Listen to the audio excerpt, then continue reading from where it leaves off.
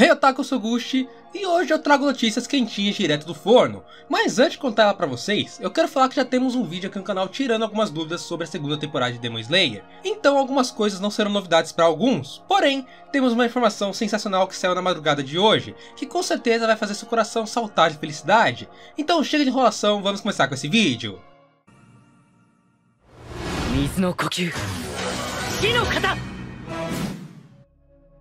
Durante a madrugada de hoje, o perfil oficial de Kimetsu no Yaiba Demon Slayer do Twitter fez uma postagem. E óbvio que eu não sei ler japonês, então eu usei nosso queridíssimo Google Translator. E na primeira parte do post, dizia o seguinte, foi decidido que o anime de TV Kimetsu no Yaiba será transmitido todos os domingos, a partir das 23 horas e 15 minutos, na série de TV Fuji em todo o país. E o porquê dessa notícia ser tão boa? Para quem não sabe, o próximo arco se chama Arco do Distrito de Entretenimento, e bom, vai girar em torno de um ambiente mais pesado, com boa presença de garotas de programa. E naturalmente, por causa disso, muita gente temia a censura. E com a revelação do horário de 23 horas e 15 minutos, é praticamente uma garantia de que não vai ser censurado. Tem uma chance gigantesca agora de o anime chegar com tudo, sem nenhum tipo de restrição que possa prejudicar a qualidade da obra. Lembrando que o Japão está 12 horas na frente do Brasil, então enquanto lá o lançamento vai ser 23 e 15 da noite, Pra gente também vai ser no domingo, mas será às 11h15 da manhã. Com os processos de tradução e criação das legendas, deve chegar pra gente assistir entre as 12 horas e as 14 horas,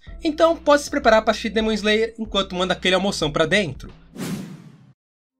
E o tweet deles continua com outra notícia muito importante, então vamos continuar aqui lendo. O relatório de acompanhamento será anunciado no sábado 25 de setembro. Obrigado por seu apoio contínuo. E assim acaba o tweet. Agora você deve estar se perguntando, mas o que é esse dia 25 de setembro? O que essa data significa na prática?